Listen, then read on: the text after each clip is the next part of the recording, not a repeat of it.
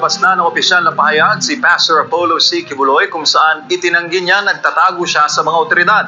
Narito ang kabuuan ng paliwanag ni Pastor Apollo kung paano at bakit kailangan niyang protektahan ang kanyang sarili laban sa papangabuso at mapangabing mga individual at organisasyon.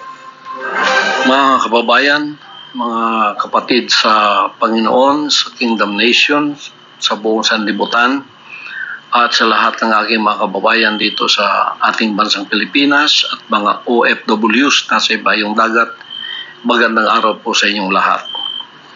Ako po ay merong mensaheng ipaabot ngayon sa mga nangyayari sa ating bansa at nangyayari po sa akin, sa KOJC, at sa lahat ng mga pangyayaring itong hindi natin inaasahan na ito'y mangyayari ngayon sa ating bansa.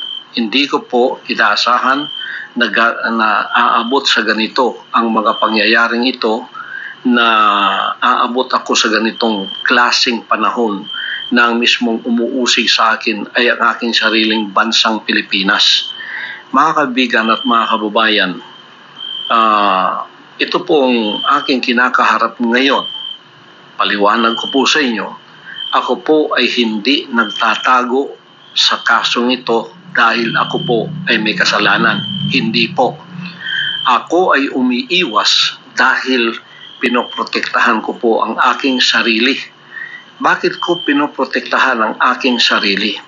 Sapagkat ang lahat po ng nangyayaring ito sa kasong ito na napakasimple lamang po ng kasong ito. Simple case lang po ito na apat ng taon nang nakabinbin dyan sa DOJ. Pagkatapos ngayon ay binuhay na naman nila.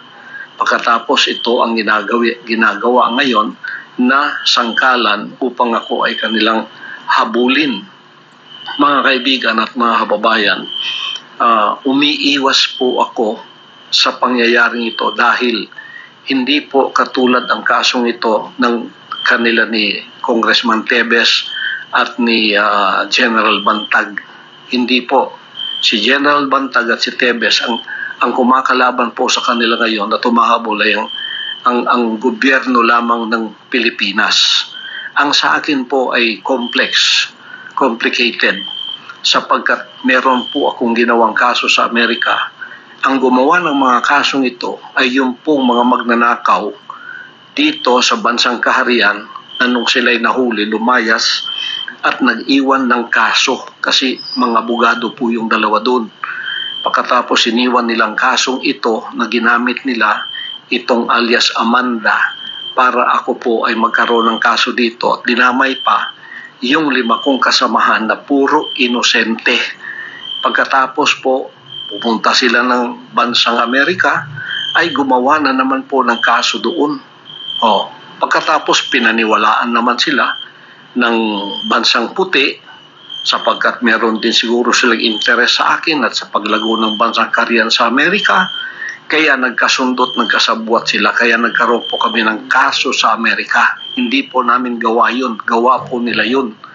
Pagkatapos nito, hinarap po namin ang kasong yun sa Amerika. 43 counts, kumuha kami ng 22 abogado doon at hinarap ang kasong yun na meron na pong sagot ang lahat ng kanilang mga inakusa sa amin. Naghihintay na lang kami ng panahon kung kailan yun uh, ang trial mangyayari. Apat tagkatatlong taon na nilang pinopostpone. At least ngayon po November 5 matutuloy na. Kaya sila po ay wala ng ingay doon sa Amerika sapagkat ito ay naharap na po ng aking mga abogado. Ngayon, naging complicated po ang aking sitwasyon dito sa bansang Pilipinas mulang nanalo uh, si Bongbong Marcos at uh, naging presidente siya nang pumunta siya ng bansang Amerika, nagbago na po ang ihip ng hangin. Kasi nung bumalik siya rito, kaibigan na niya ang bansang puting Amerika, kaibigan na po niya ang, uh, ang bansang ito at inopen na niya ang Pilipinas. Kaya nagkaroon tayo ng mga Amerikanong marami dito. Nandiyan na yung EDCA at uh, hindi lamang po yun na naging open, pati po ako, ang kaso ko, ay naging complicated dahil isinama na po sa sitwasyon na mga puting yan ay naririto at ako po ay uh, ah, hiningi na nila sa kamay ng rehimeng Marcos. Kaya noong December ah, 21 o 22, nagkasundo na po yung dalawang yan. Ang rehimeng Marcos, si Marcos mismo, at ang ah, at ang ah, FBI at CIA nagkasundo na po na ako'y ibigay sa kanilang kamay. Ibigay ni Marcos ako sa kamay ng mga puti. At mula noon, under surveillance na po ako dito sa aking sariling bansa. Diyan sa aking mga compound, meron ng mga drones, araw-araw at gabi. Gawa po ng mga puti yun. O, pagkatapos po, eh, naghanda kami kasi ayaw po nila ang tinatawag na ah, extradition kasi may extradition treaty tayo yun ang legal na paraan para ako ay humarap sa kaso doon sa Amerika using my constitutional rights. Ayaw nilang dumaan doon sa prosesong yon na legal sapagkat magiging matagal daw. Ngayon, mga kaibigan at mga kababayan, bakit po ako ay under surveillance ng mga puti? Kasi ang gusto po nila ay rendition, yung extraordinary rendition, maaring kidnapping at maari pong assassination. At mayroon pa po akong patong na dalawang milyong dolyares sa ulo ko. Ibig sabihin, 110 million pesos ang ah, reward ah, o ang award noong pwedeng humuli sa akin o kaya pwedeng ah, gamitin para ako ay mapasakamay nila ng mga puting ito. Kaya naging complicated po ang kasong yan sapagkat nung nalaman naming extraordinary rendition ng kanilang gagawin na lulusubin kami na illegal sa aming mga compound, nakita po ninyo naghanda na kami. Araw at gabi ay meron po kaming paghahandang ginagawa na anumang anumang oras na kami lusubin illegally, kami po ay tatayo sa aming mga paa, tatayo at ipagtatanggol namin ang aming sarili at ang aming mga propriedad na gusto nilang lusubin at gusto nilang ah, by force papasok po sila upang gumawa ng extraordinary rendition. Yan po ay pinatotohanan noong February nung dumating yung apat kong abogado dito at sinabing ganun nga ang ah, ang kasunduan nitong rehimeng Marcos at ah, ng mga puting ito na FBI o kaya CIA. Kaya po kami naghanda sa compound namin sa Tamayong, compound sa Davao, compound kahit saan. May mga drones po. Drones yon ng mga puti na nagsusurveillance sa amin.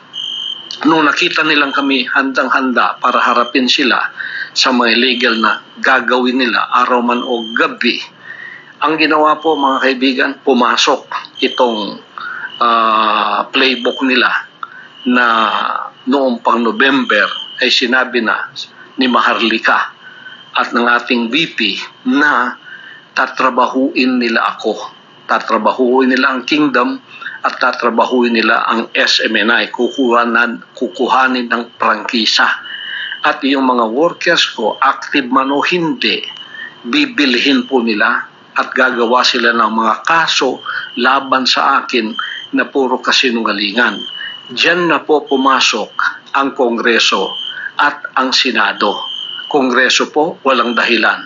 Pinatatawag pagkatapos ang kanilang playbook ginawa na na kuhaan, kukunin o kaya iligwak ang prangkisa ng SMNI. Lahat po ng pangyayari doon, puro murmurong lang po yun. Pagkatapos ako, pilit nila akong ah, pinaaten kahit nakita nila sa mga dokumento na hindi po ako kasali na sa mga opisyal ng SMNI. Pero pinipilit pa rin nilang ako ay ah, pumunta doon. Bakit? Yun po ay patibong sapagkat pag anytime pumunta ka doon, siguradong ang end game ay pupunta ka sa kamay ng mga puti. Extraordinary rendition pa rin. Eh sa sarili ko ang lugar, gusto nila akong pasukin. Lalo na kung pupunta na ako doon. Oh, iko-contempt ka pagkatapos dadalhin ka doon sa kanilang sa kanilang ah, ah, presuhan pagkatapos naghihintay na roon ng mga puti para ibigay ka sa kanilang kamay. Ganon din po diyan sa Senado. bakit gumawa ng senaryo yan si Risa Contiveros? Nagbayad sila ng mga bayarang mga former worker na mga sinungaling na mga witnesses. Oh, nakita na po yan at uh, nadamay sa kasinungalingan si BP Sara at ang ating uh, Pangulong Duterte na puro kasinungalingan ang pinagsasabi nila. At pinipilit ako ni Reza Contiveros na umaten sa moro-moro at bogus ng mga hearing na yon. Oh, bakit po? Isa ring patibong yon mga kaibigan at mga kababayan. Pagka ako'y umatin doon, siguradong ang endgame po ay babagsak ako sa kamay ng mga puti. Extraordinary rendition pa rin. Nung hindi po nila magawa yun, kahit may mga warrant of arrest na sila, sapagkat hindi ako mo-attend sa kanilang mga hearing, kasi pinoprotektahan ko yung sarili ko, kasi alam ko ng lahat ng ito ay patibong lamang upang ang endgame ay magawa nga nila na ako ay uh, ilagay sa kamay ng mga puti. Sapagkat ang ating pong gobyerno at ang gobyerno ng mga puting ito ay nagkasabwatan na nga hawak na nga sa liig ang ating uh, gobyerno rito kaya itong mga operatibang ito ay ginagamit na lamang whether they know it or not sapagkat ginagamit na nilang batas laban sa akin upang ako ay kanilang mahuli, upang ako ay kanilang uh, madampot at ibigay na sa kamay ng mga puti. Yun po ang endgame yan. Extraordinary rendition pa rin yan. Yung sinasabi nilang wala akong wala akong uh, whole departure order. Pagkatapos sasabihin nilang maging madugo kung sila ipapasok dito sa aking compound. Yun po yung mga patibong din. Ang ibig nilang sabihin, umalis ka dyan kasi magiging madugo. E lalo pa kung hindi aalis kasi ako'y tatayo sa mga illegal na activities na gagawin nila ng paglusob. Sabi nila, wala na ka namang uh, whole departure order. Ang ibig sabihin, pwede kang lumabas ng bansa. Patibong din po yun. Sapagkat sa immigration pa, doon ka na huhulihin at ilalagay ka sa kamay pa rin ng mga puti. Yan po ang endgame dyan. Endgame dyan nangingialam po ang bansang ito. Ang bansang puti ang nangingialam sapagkat naging kasabuat na ng ating pamahalaan ngayon dito sa ating bansa. Kaya ang nasa likod po ng lahat ng ito ay ang mga puti. Ang mga drones na yan, surveillance na yan, CIA po yan, mga FBI po lahat yan. O, ayaw nilang dumaan sa prosesong tama. Gusto nila extraordinary rendition. Bakit po? Sapagkat yan ay maaring kidnapping, maaring assassination sapagkat pagka ako'y napunta sa kanilang kamay, sabi pa ng isang kaibigan ko sa Amerika dito, huwag mong asahan na ikaw ay babalik pa. Mababalitaan na lang namin na ikaw ay namatay sa pamamagitan ng natural causes na tulad ng heart attack. Ganyan ang mangyayari sa iyo. Playbook po yan. Playbook po yan yan po ay playbook ng CIA at ng FBI na nasa likod ng lahat ng ito. Puti po ang nasa likod ng lahat ng itong nangyayari sa akin ngayon.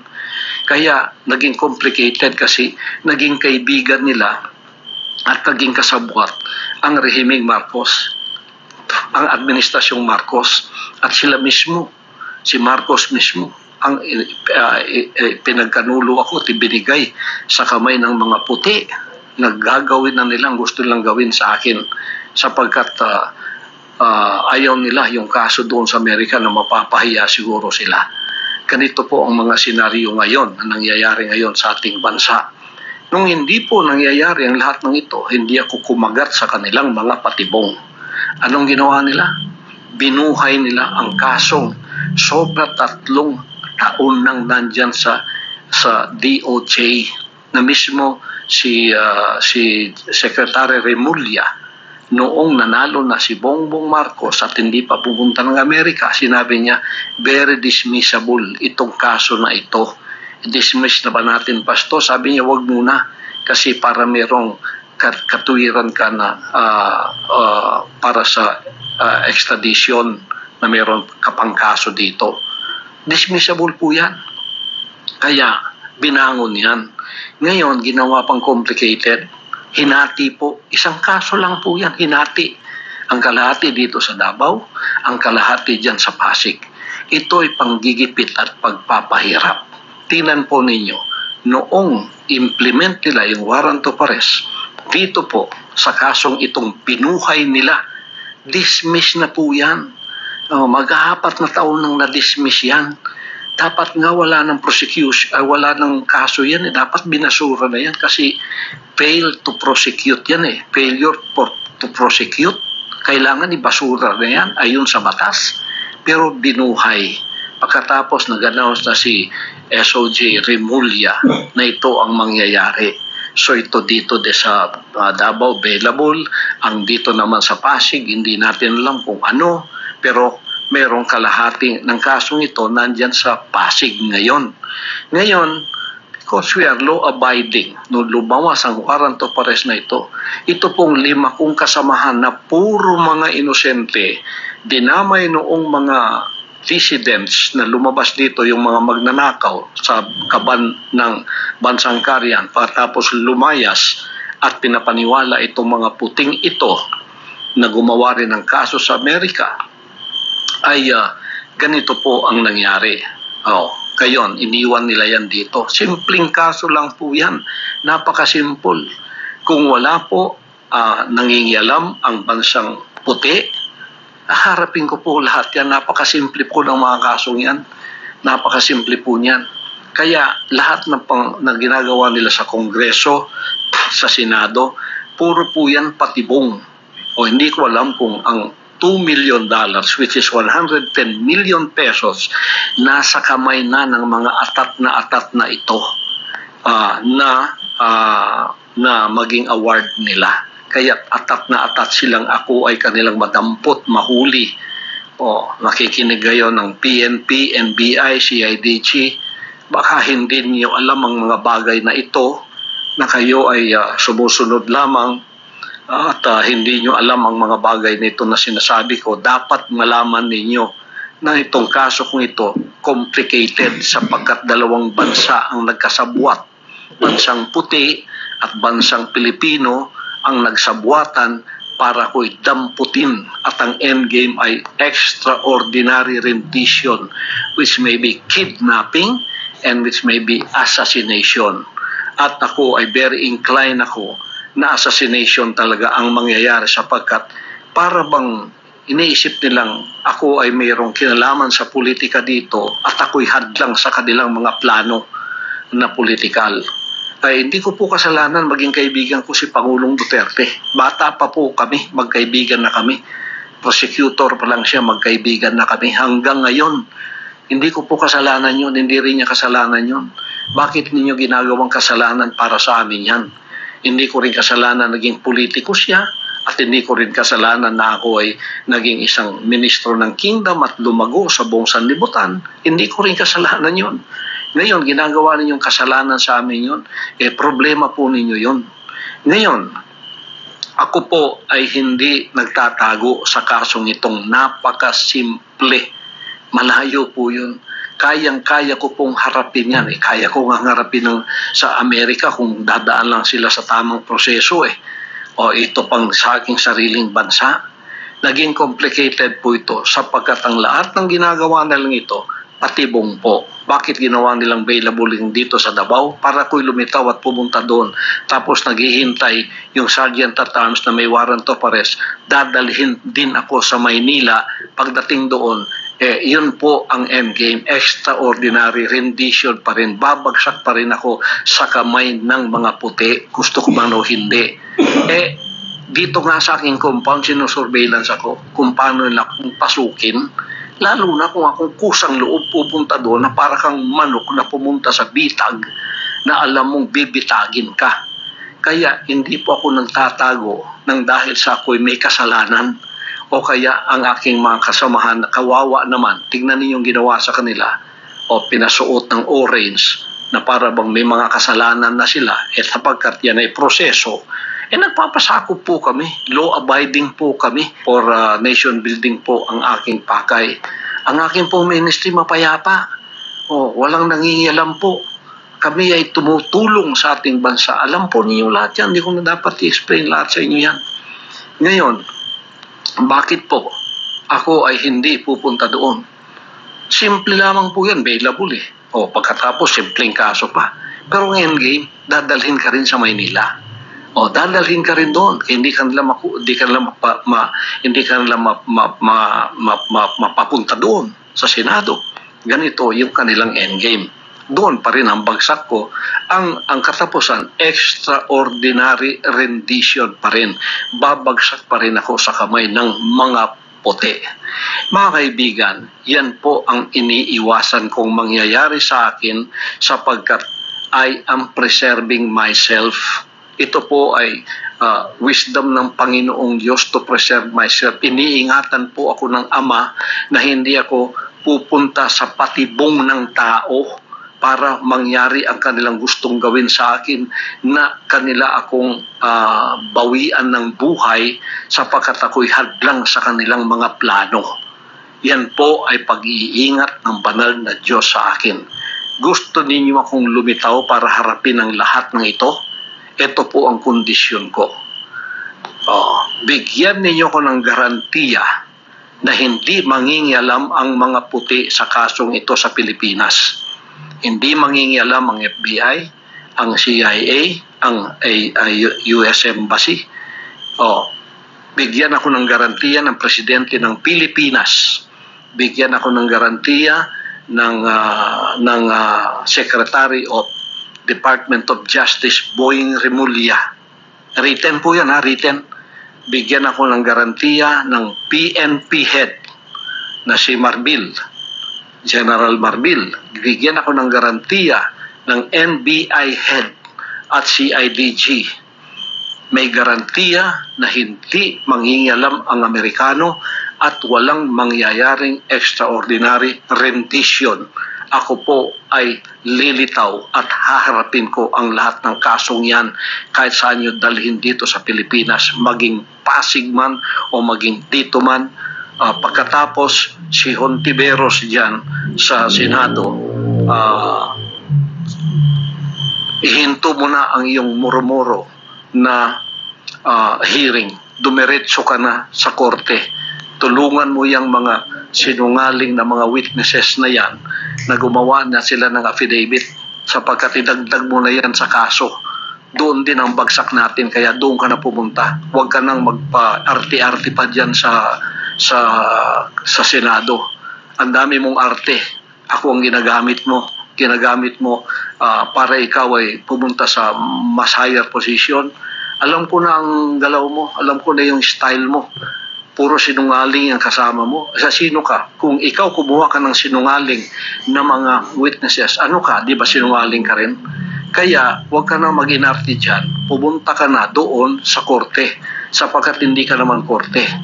Ngayon, kung gusto mo ako talagang pilitin pumunta riyan, eh, gumawa rin kayo ng, uh, ng nararapat. Yung 17 conditions ko, harapin ninyo yon para pantay tayo dyan sa Senado mo eh malabo nang mangyari yun eh kasi muro-muro na lahat ang ginagawa ninyo.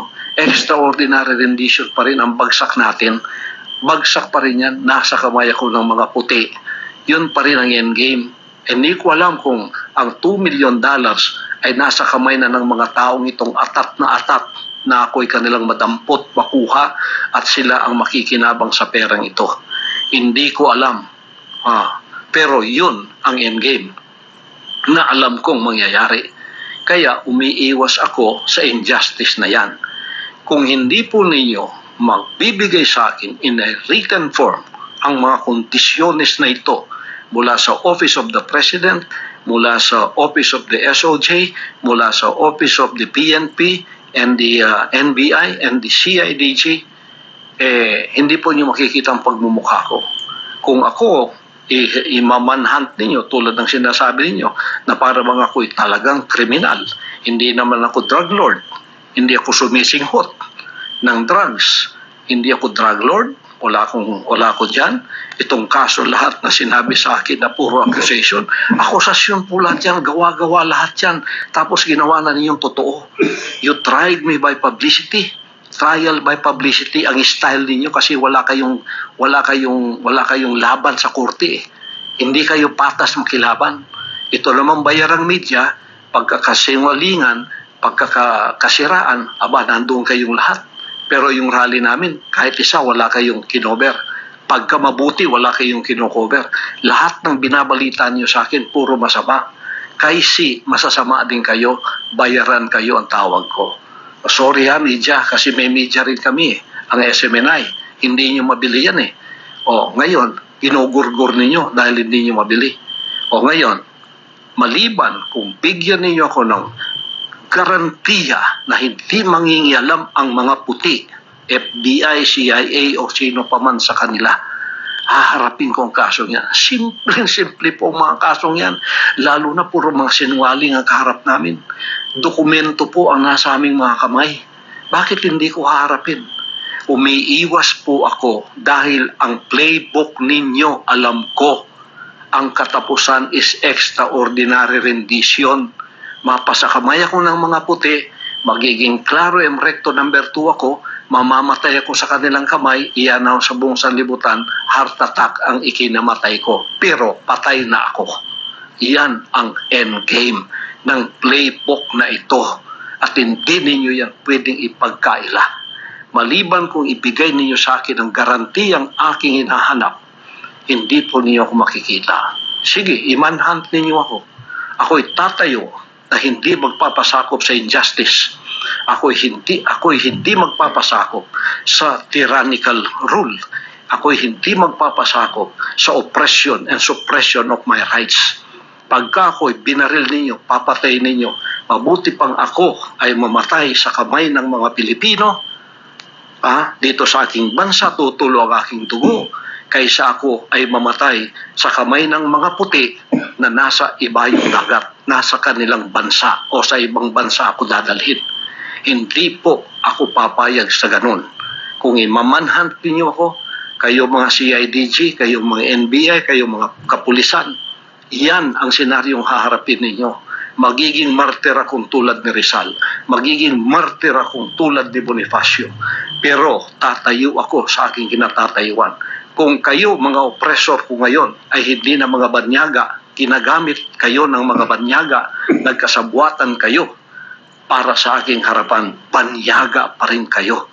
Tatayo ako laban sa inyong oppression, sa inyong suppression of my constitutional rights at tatayo ako laban sa injustice ng gobyernong ito.